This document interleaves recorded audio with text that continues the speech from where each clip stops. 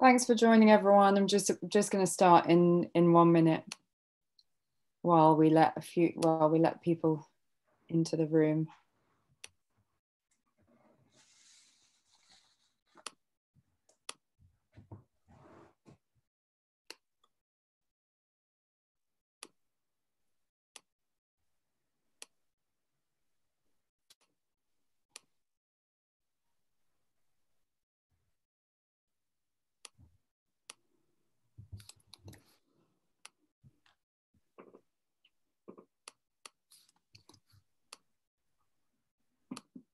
Okay.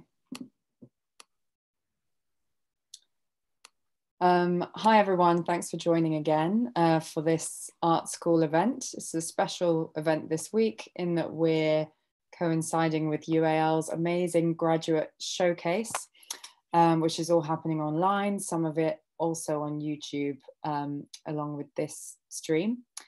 Uh, and today we're very fortunate to have Chris Veit Wasilak, who um, is joining us to discuss Johanna Billing's 2019 video and performance work in Purple. Uh, Chris will be in conversation with uh, Graham Ellard here, who is an artist, filmmaker, and professor at CSM. Uh, Chris is a writer and critic based in London, a regular contributor to Art Agenda, Camera Austria, and Frieze. He's also a contributing editor of Art Review, uh, so you may well have seen all of his work in those publications. Um, he's just had a new book out, uh, The Artist in Time, which is published by Herbert Press.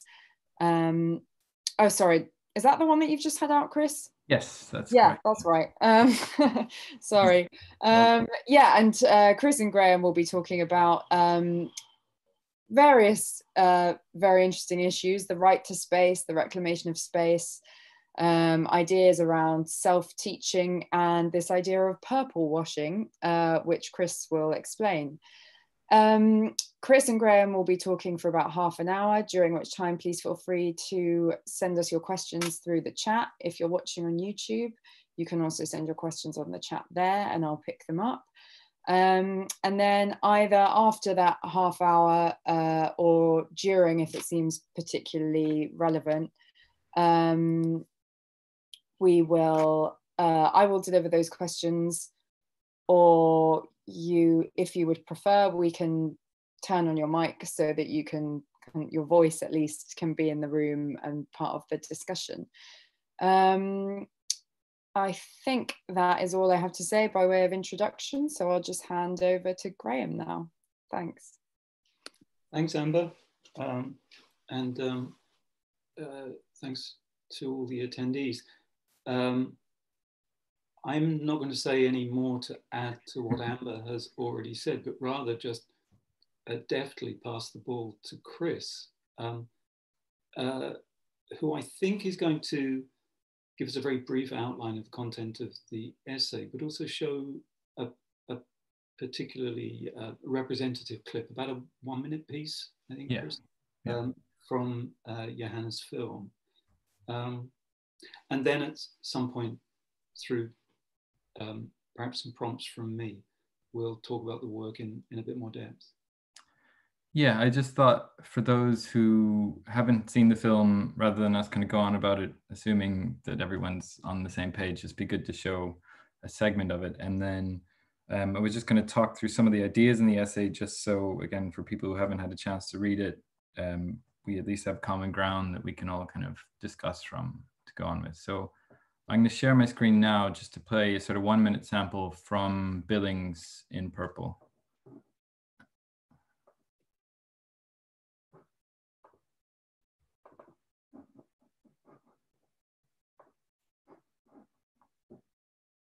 Ah.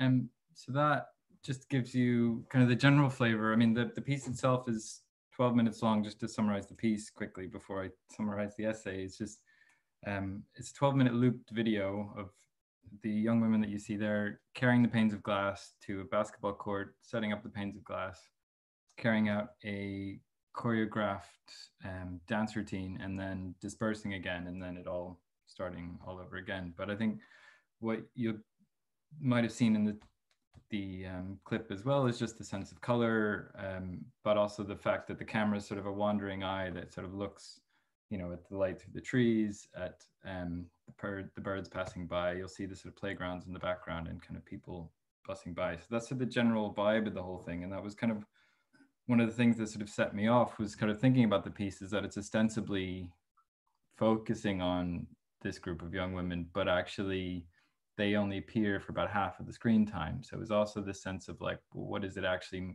materially or visually about if it's if they're equally part of the environment in terms of screen time. Um, and then, I mean, also just to give you a sense, because there's some very heavy symbols there, I guess, in terms of glass um, being carried as this, this, sort of sense of fragility um, and also just like literal reflection of their environment. Um, and uh, and then there's a part of an earlier part where there's an older group and they approach a slightly younger group of young women. They hand over the glass to them. So there's also this kind of symbolic generational transition that goes on. And, and these kind of felt like bigger things that could be focused on. But I guess what I was sort of interested in underneath all that was the presentation and the use of public space um, and the different forms that it takes when it's there. You know, we, we see all the kind of pathways sitting in between the sort of monolithic, not too high um, apartment buildings.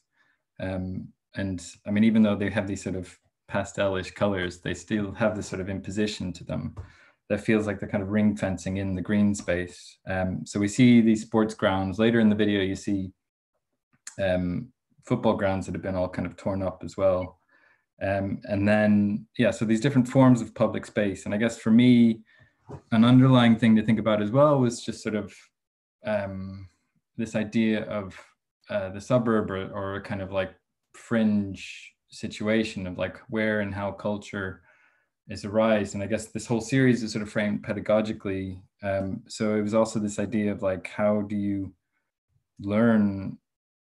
I mean, for me, it was a, like a basic thing, I guess, growing up in the suburbs. Like, how do you actually hear about music in the first place to know what you like? And and to me, that seems like a basic question here of like they they kind of know what they're into and they're sort of claiming it, but at the same time, there's that wondering of yeah where it comes from and where it goes. I suppose from there.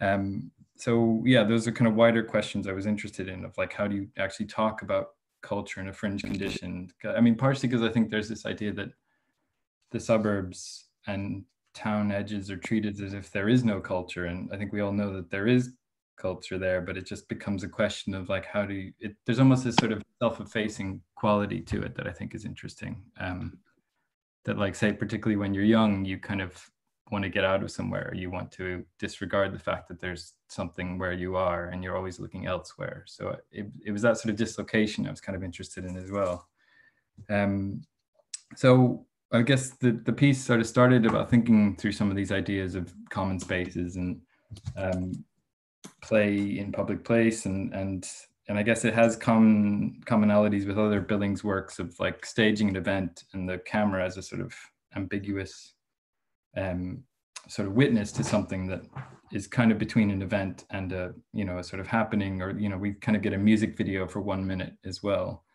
Um, but i guess it was sort of looking through sources about you know claiming public space or play dance these sort of things it all seem to fall through the cracks i mean there's a kind of casualness to the video that sort of belies what feels at stake i guess um, and I think a turning point for me was just kind of using the colors then as a guiding point, I suppose, because there's a lot of, you might have seen a lot of little visual links that happen throughout the video, just in terms of their outfits and the colors of the glass, obviously, but then that linking with the buildings. And then um, there's little sort of, you know, cues of like flowers and um, nets and uh, other bits that kind of ties them to what they're passing by. Um, and that kind of became a way to try and think about okay, is it just about mirroring space? Are they just reflecting their environment, or is, can it be a way of commenting on it a bit more? Um, and a useful text for me was just looking at a, an anthology called uh, Prismatic Ecologies, which just had a series of authors thinking through approaches to environment and ecology and sort of interactions um, using color as a sort of thinking guide. And um, say one example with the pink color was the writer Robert McRuer talking about pink washing um, as an issue. And then the ecofeminist writer and theorist Stacy Alaimo taking on this idea of um, black violet um, as this idea of the invisible, I suppose, that she was talking about, say, in the ocean, the abyss section of the ocean being something that is almost culturally assumed to be empty. And I guess that had a resonance for me of thinking through some of these sort of suburb issues, like um, that the suburbs are sort of assumed to be empty. And, and uh, so it kind of standing for this sort of what's not visible, what's not humanly understandable, when actually there's something or a lot going on there. Um, I mean, Alaimo refers to it as a sort of abyss of concern.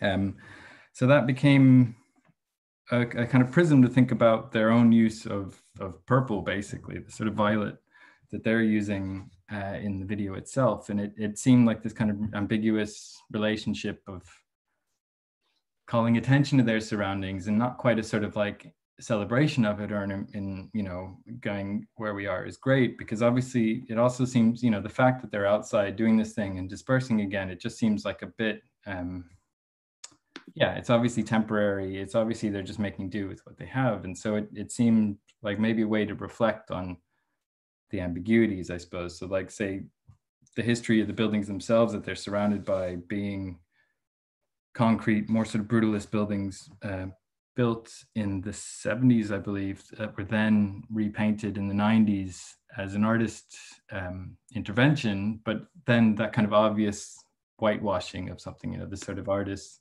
making something look, um, it was a way of dealing with the social issues in the area through the housing. Um, so I guess it was trying to think about, yeah, through reading about the thoughts on pink washing, whitewashing, how we could think about uh, purple washing, I guess. I mean, for me, it was also approaching this um, again through this pedagogical lens. I didn't maybe so want much want to write about the pedagogy in the piece so much as like write the text pedagogically to like provide a tool so that people could then take and use that themselves as well. So this idea of purple washing being this sort of like changeable tool that would reflect on these sort of things that were obviously meant to sort of math over problems, but that could be um, adjustable in any situation, I suppose. And so it was kind of just, again, it's just a short essay. So it was just a way to suggest, okay, here's something to maybe think about what you see in your own environments and as a way to sort of flag it up and that, and then maybe as a way to talk about, I think the thing about the, um, the dance troupe was this idea that they, obviously taking up space, but there isn't much written about the way they take up space. Okay, let's start. This is the launch of the Central St. Martin's 2020. We had some crossover with the YouTube. My name is Jeremy Till, and I'm head of Central St. Martin's. I'm very happy to welcome you Second. to this event, which by now we're all used to doing things. Adina, um, Let me, I'm going to mute all of the um, seems to have been solved. Yes, perfect. It was Jeremy Till, no less, but um, but still, we need to shut him up. Yeah. Uh, well, that's handy timing because I was approaching the end of my uh, monologuing anyway. So, um, uh, yeah. So it was just kind of finishing with this idea of having something to hand over, I suppose, in a way to talk about things that um, were sort of not properly addressed or or I don't know danced about. Let's say.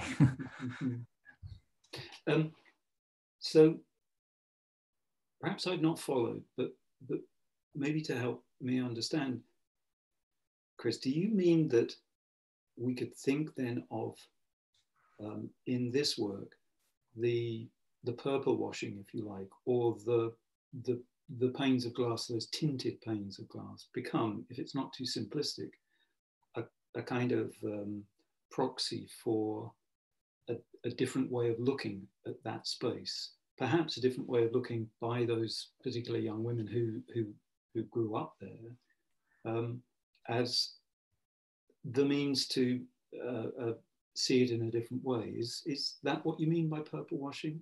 In some sense, yeah. I mean, I think there's, again, there's a there's a nice sort of ambiguity about the handling of it that allows it to be used in multiple ways because i think partially yes there's that sense of like you know rose tinted glasses like yeah if they yeah, yeah. looking through the purple glass they could see something different about it i think there's also the aspect that the dimensions of the glass themselves are suggestive of the architecture around them so there's also this sense of a kind of opening out and exploding of space or the architecture that also would suggest a, a different use of that space. Mm. Um, but then I guess I also meant it in the way that um, people might wear a certain color to sort of flag affinities or things like that. So it's almost like partially them flagging an affinity with the buildings, but also flagging up the fact that those buildings are that color and that color has a history that is designed to mask other histories.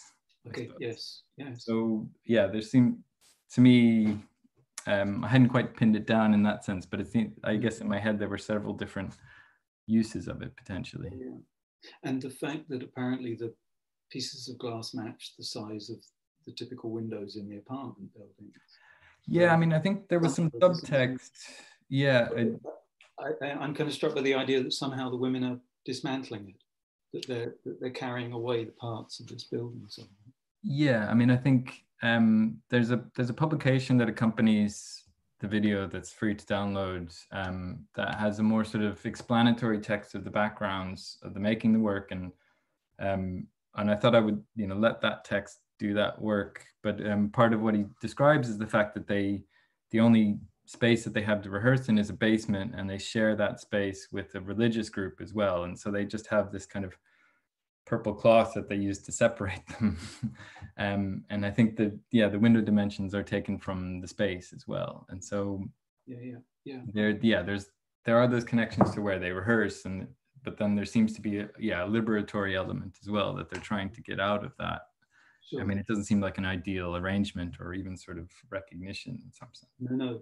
And it's and it seems somehow to be a certainly when one learns about that context that the film itself is littered with um, there's a kind of repeated motif of empty sports facilities.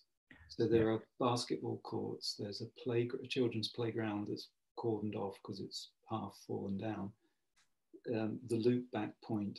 So it begins or ends with um, an empty sports hall i think um, which is the building um, which mixed dancers use as their rehearsal space, but it's in the basement. Um, oh, so, right. Yeah, I wasn't sure the connection with the because I I just saw a sort of literal connection between an indoor basketball space and an outdoor basketball space where they actually do the the choreographed routine. Yeah, yeah. Um, that it, it seemed such a curious kind of contrast though between the built and unused spaces, the empty spaces of those facilities.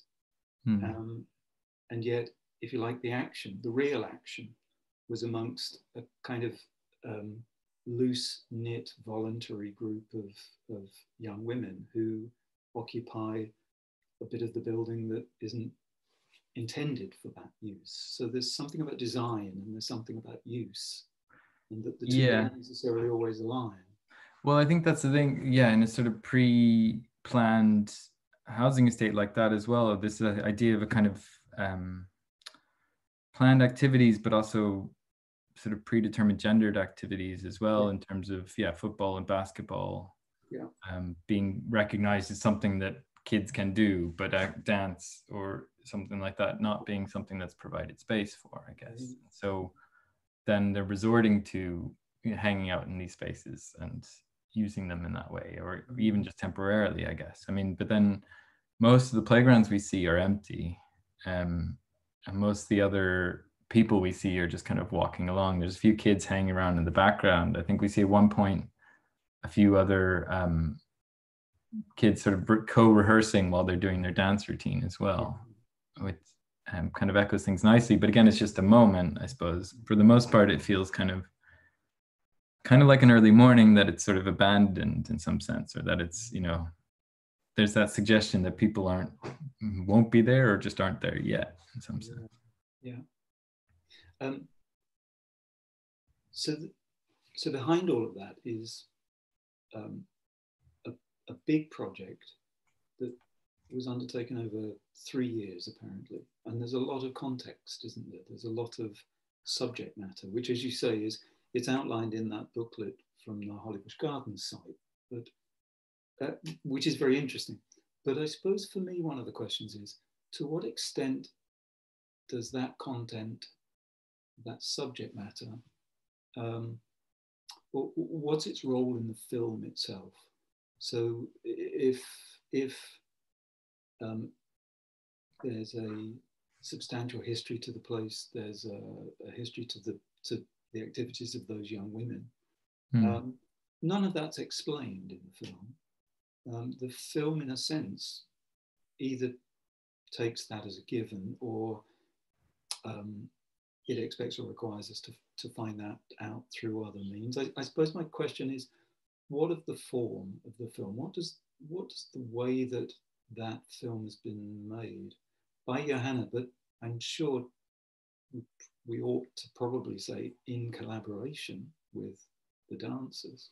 Um, what what does that do with that subject matter that the subject matter itself um, doesn't articulate, do you think? Um, I think, yeah, I mean, it felt important to kind of acknowledge that building was giving them a platform in some sense, and that, yeah, that that stance of the camera as a witness is deliberate as a sort of stepping back as well after having this. I mean, I think it was, for me, it's interesting because I think it did begin as a conversation or an invitation to do a public artwork. Yes. and it is a public artwork. It's just not a you know anything that's permanent or lasting or, or, i mean the video has its own life i suppose. So it, it um it's quite interesting to think about that sense. But i suppose what i mentioned briefly before this idea of what we're actually seeing in the video and and the young women being only just just under half of that i suppose. And so what we're seeing then is manicured you know we're seeing someone mow the lawn we're seeing empty sports grounds and we're seeing um, you know trash facilities we're seeing gardens.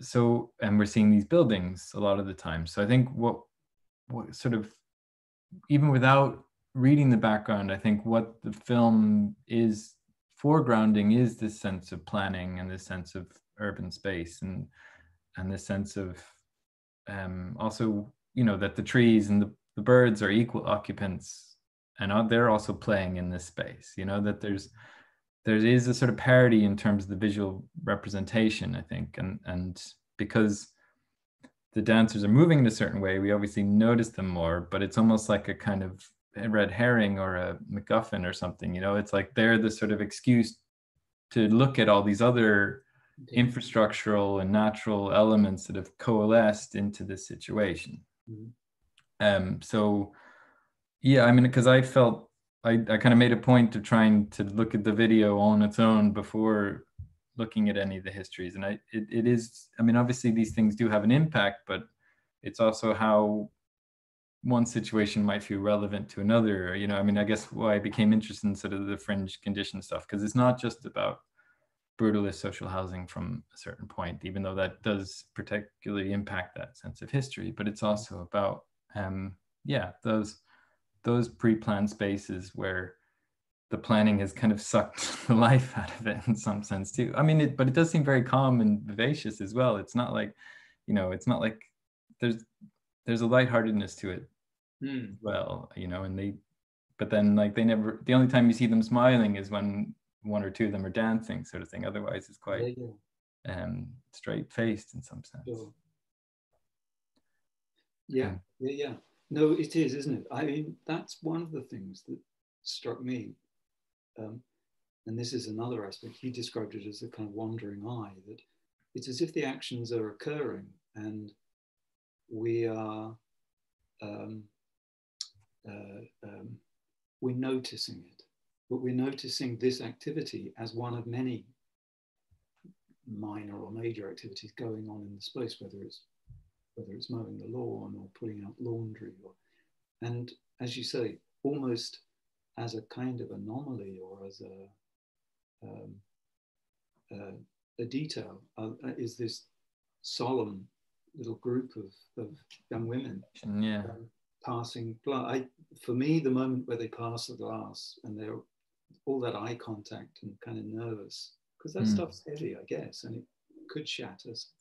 There was a real sense of a kind of interaction there, which maybe begins to allow that um, those themes of a, a kind of micro community of interest that finds itself or forms itself in this otherwise potentially at best dull, at worst hostile environment. And, and also the, and I'm sure this is inflected by the knowledge that the older women, older young women are, are, are actually the originators of the group and now they are, as it were, kind of passing on, whole, passing that on to um, a younger group.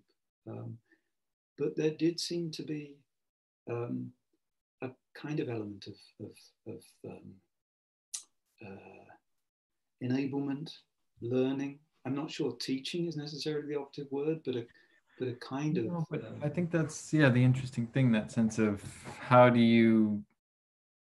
Yeah, I guess for me that that sense of teaching or learning in a sort of fringe or suburban environment isn't about explicit stuff. It's about knowing that there's a possibility of something almost. Yeah, yeah or know that that something even exists in the first place. So if you have a model of culture or creativity that enacts in a certain way that you're sympathetic to, then obviously that you know you can work with that. You know what I mean? So in some sense, it's it's a it's a gift maybe to these younger mm. people who are getting involved in that. But then it also it's interesting because yeah, that moment you're talking about is there's a lot of the focusing on their hands mm. and you kind of see them kind of trying to adjust their grip and that i mean within all that is yeah the, the sort of metaphorical struggle of like coming to terms with things yeah, yeah. which i think is interesting because it's also again that tells the story as much as the backstory i guess of mm.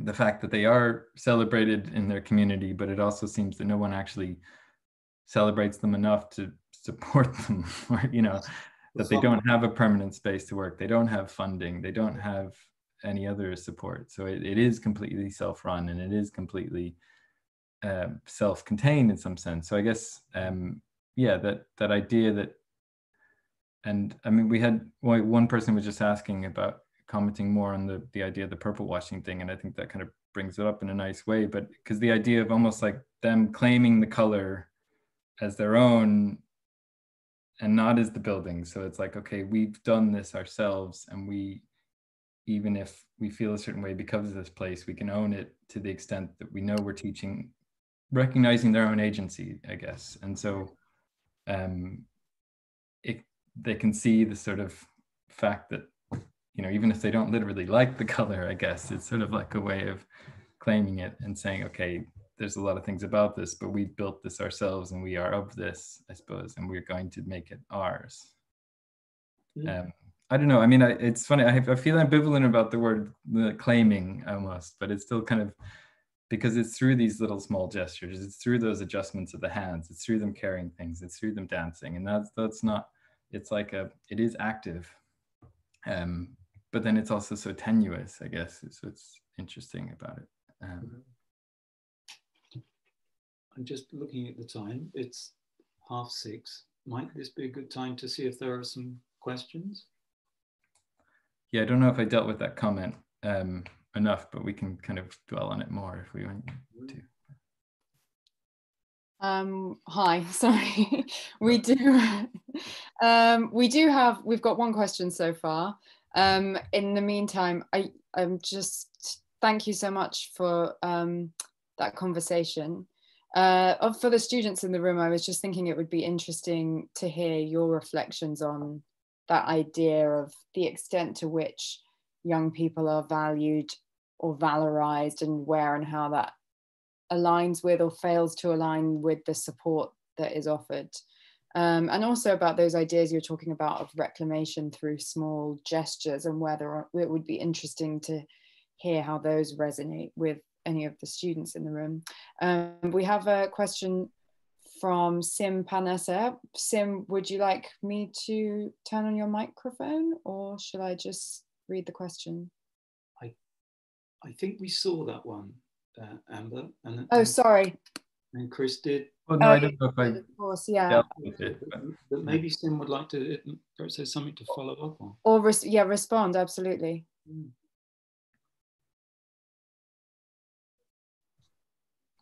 Um, well, in that case, I mean. Well, I think it's a continual thing, though. I mean, because. Um, so I'm just trying to get a thread I, on what you were just I saying. can throw you another question if. no, no, but I guess you were talking about this idea. Well, because yeah, partially what came through writing the essay was this idea of like looking at things and seeing um, the fact that yeah, there there isn't a narrative there for these people, and they're obviously using, um, you know, space temporarily. So it's kind of like okay, they don't have a space for what they do. It's not like there's a youth center that they're using or a community center that they're using, and so it becomes a way to um, yeah think about that the temporariness and we can say claiming but again it just dissipates i suppose and so the the the lack of infrastructure seem mirrored by a lack of discourse, I guess, in the sense of like, I think there are sociological studies that look at, you know, the issues of young women in urban spaces or in suburban spaces. But I think in terms of culture, it's basically this abyss that we're looking at. And it, it there's sort of a few resonances between that in terms of where where that lack of attention is, I suppose. And so yeah, the, the the outdoorsness being one aspect of that or you know and and the loop of the video itself being another reflection of that i suppose. And so and then texts yeah not sort of highlighting that i guess. I mean it, it i mean i think even just today i guess there was a i think uh, a writer named leslie kern has just published a book called the feminist city and there was an excerpt that was published today that was talking about these issues of yeah the fact that like people have these alternative experiences of the city but often for young women the narrative is often that it's a dangerous place you don't go outside you know these sorts of things of like how you meant to claim space if the narratives for knowing about claiming space aren't there as well i suppose.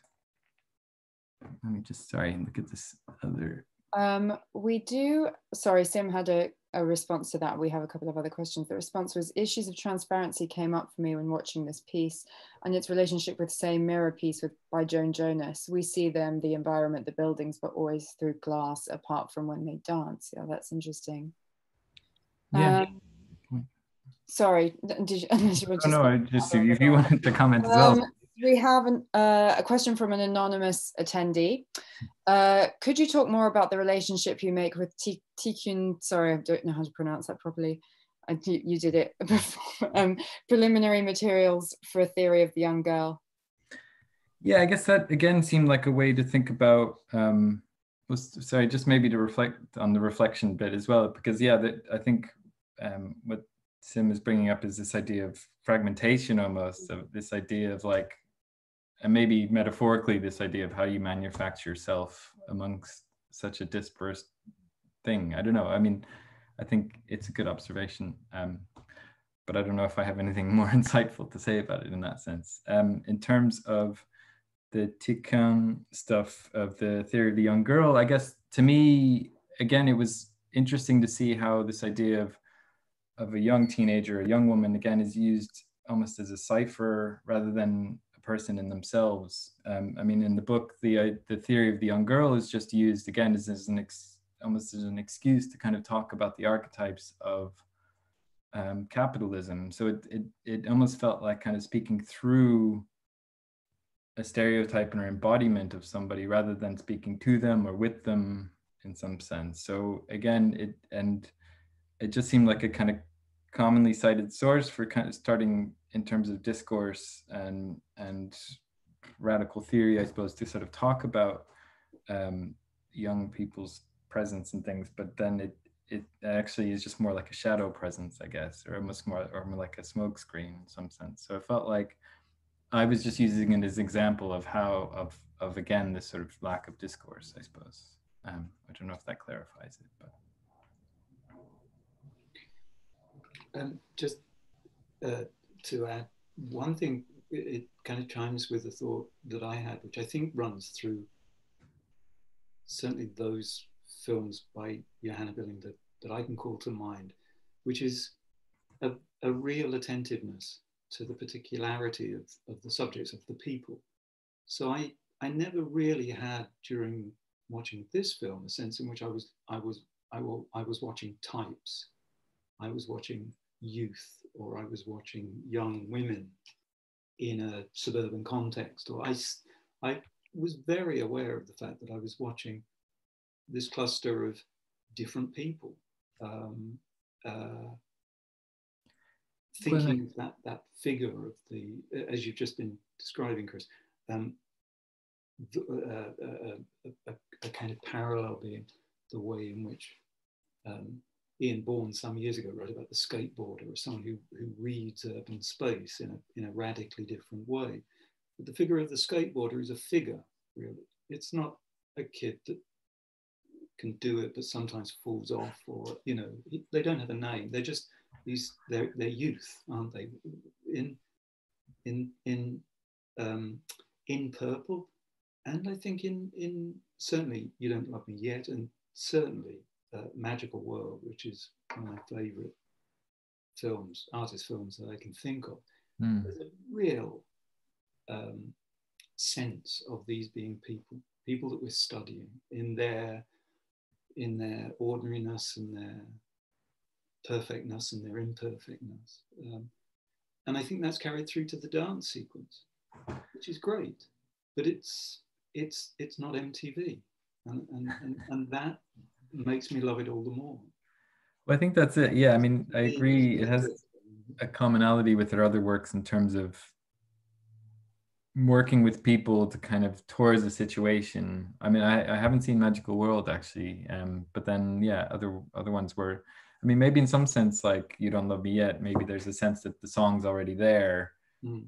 Um, or in others where there's a situation that shapes it. And and this one definitely has a more open-ended feel yeah. in the sense of like okay how do we let them do what they want to do and maybe also portray some of the other aspects so it it, it does sound like the piece was more kind of co-directed in that sense mm-hmm. and in a sense of how um, they wanted to portray themselves i guess being the main pedagogical aspect of this i suppose wow. that they saw and because i think that sense of attention to, to people and to momentary things i think is what billing brings to it in that sense of like okay the, it's not about treating people as archetypes. I mean the, again maybe the colors use ambiguity as a sort of semi-abstraction. You know they're all wearing the same shade of pink and they're using the color again to highlight. So there's a no, there's a slight disassociation that color brings but again she's focusing on hands she's focusing on nails she's focusing on faces.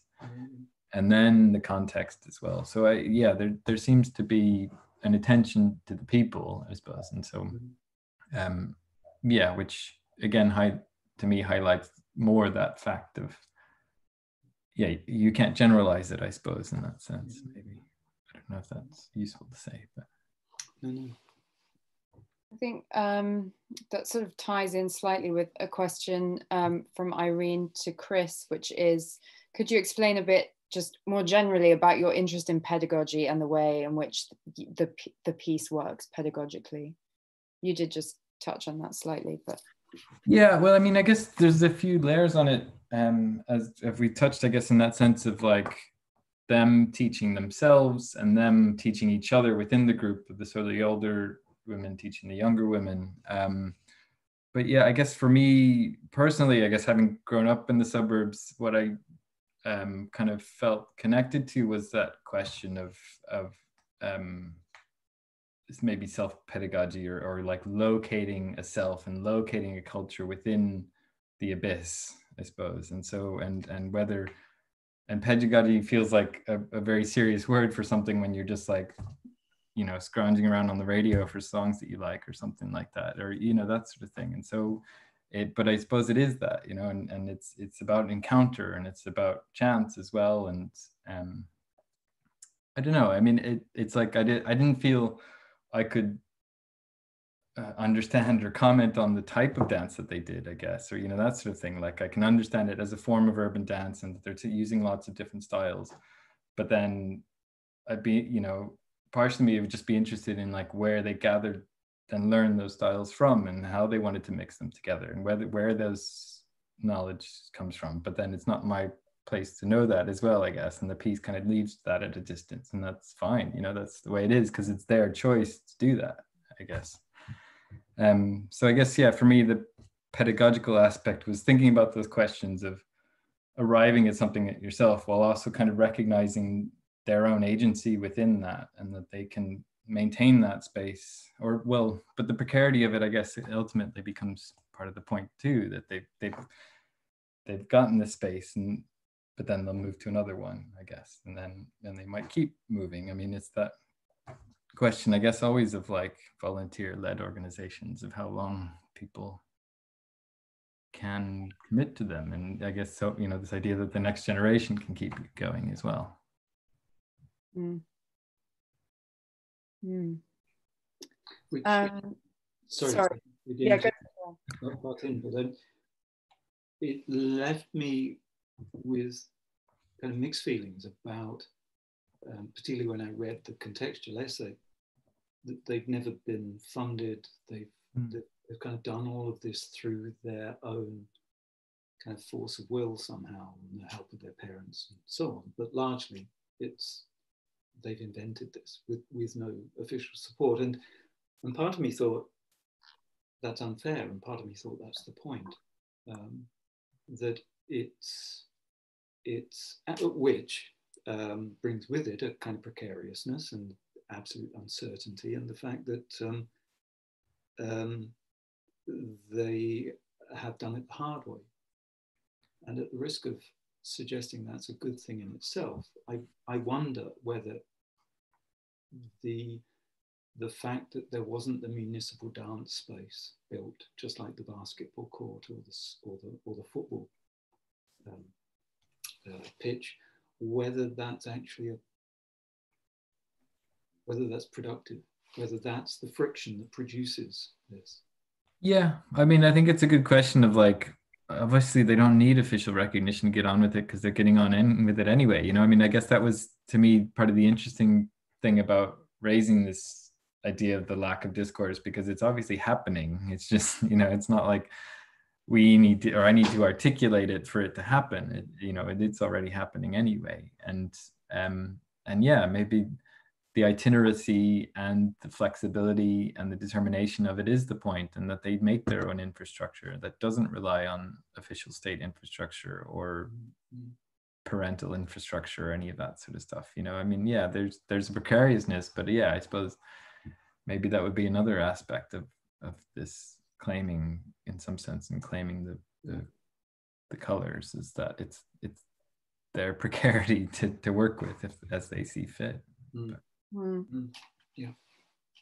I think that de- definitely speaks to another question we have from an anonymous attendee um, about so the question is would the production of space activate the process of becoming for the bodies in the space so i guess yeah how how how it kind of works reflexively maybe um, rather than just intervening in the kind of I I'm rather than intervening in the sort of um, municipality, how how that then intervenes in the in the selves or the the bodies who are participating in that way.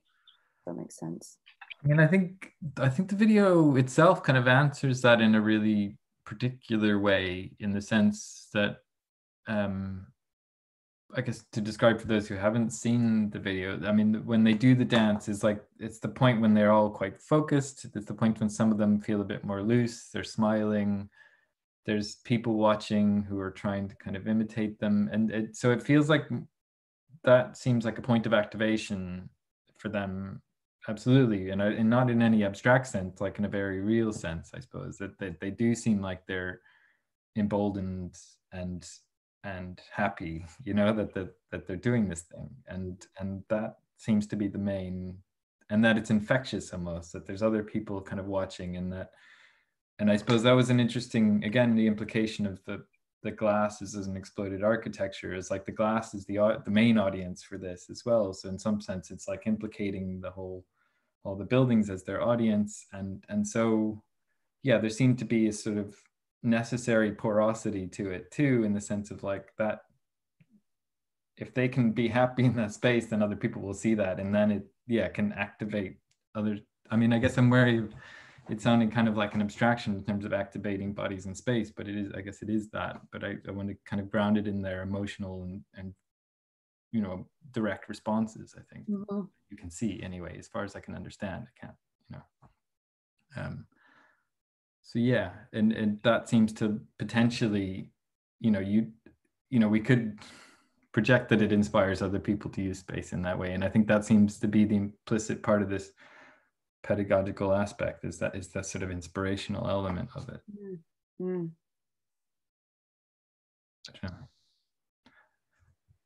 but that also sounds like kind of overly optimistic as well somehow but yeah i think we're kind of locating a sort of dual aspect to that you know and that it's yeah. It can be precious but that seems to be a sort of determination that's part of it as well. Absolutely yeah. Absolutely. And, and in a way, that perhaps thinking back to the form of the film, if I'm right, um, the, the, uh, we could see the, the performance as being the focal point of the work, but in fact, it's not the conclusion of the work. Firstly, it's looped as shown as an installation, but second, there's a good three, four minutes of equally um, prosaic kind of meandering activity after the, the dance. So it's certainly not the climax, it's certainly not the grand finale. Life somehow kind of marker of again afterwards, yeah. doesn't it? Um, and uh, the young women go and hang out by a underpass and a car slowly drives by and we hear the birds again and then of course the video would loop back. But but that one seems to play into the kind of attentiveness that, that the work um, is both a, a product of and it fosters perhaps in the viewer, but also it could be read as a suggestion that actually the idea of the performance isn't necessarily the point. It's one of the points, but it's not the point. Mm. And I, I wonder then, Chris, about this question, which is one that I've kind of asked myself, um, which is, in a sense, what is in purple? Where, where is the work? Is the work the film, or is the work the event that the film in some way documents? Or is the event, whether it's the dance or whether it's the moving the glass around, or whether it's the process, the three years that Billings spent, or whether actually it's it reaches even further back and it's the story of mixed dance, the the, the dance group, and well, um, it's more of a comment than a question. um, uh, I suppose it's I, I all of the above, yeah.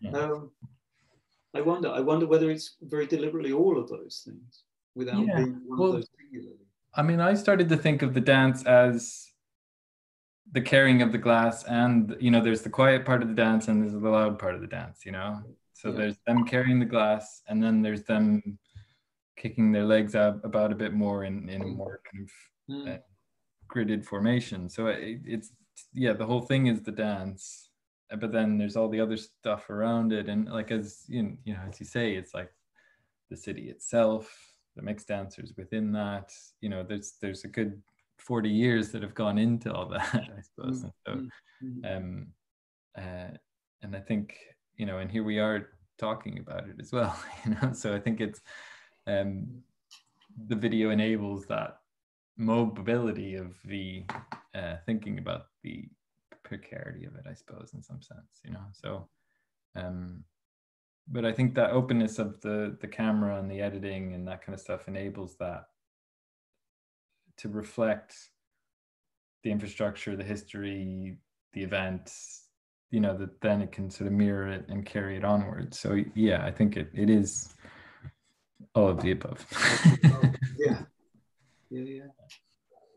So um, someone in the audience also asked mm. um, about the role of the girls in the in the film being elusive and, and in relation to the precarity you were just discussing what does it tell us about the construction of identity that those roles are kind of elusive maybe there's something to be said there about identity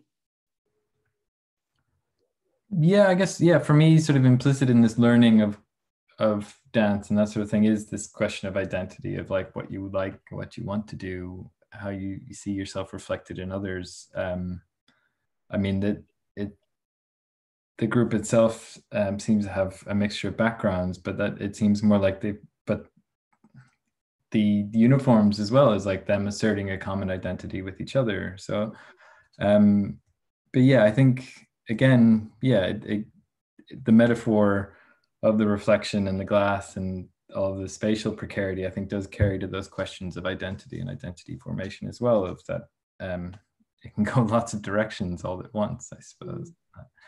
Um, and it can dissipate just as quickly, I suppose, in terms of what you pay attention to and uh, I don't know, do, I suppose. I don't know. Well, we're coming up to, um, we're almost coming up to an hour. Um, I wonder if there are any more questions anyone wants to get in before we before we wrap it up. Um, or Graham, if you had anything else to um, add to that. Otherwise, I'll just give people a few seconds to put their hands up. Yeah. Mm. Um, but otherwise, thank you so much. Thank you so much, Chris, for your essay and for joining us to have this discussion. And thanks so much, Graham, for, um, for your excellent hosting and to all of you for your questions. These were all, yeah, all really interesting, a very kind of well, well connected discussion. Um, yeah, this will, um, we've got some some people in the in the audience thanking everyone. High fives, yeah. Yeah. Wish we could all see each other, but anyway, um, yeah. Our next art school event will be this Thursday. Um, well, it's still the week of the showcase at so Thursday at six, um, where we'll be talking about Elizabeth Catlett's sculpture students aspire. Um, otherwise, I will say, yeah, thank you very much, everyone, for joining us, um, and hopefully see you at the next one. Thank you. Thanks. Bye. Bye bye. Bye. Thanks, Chris. Thank you.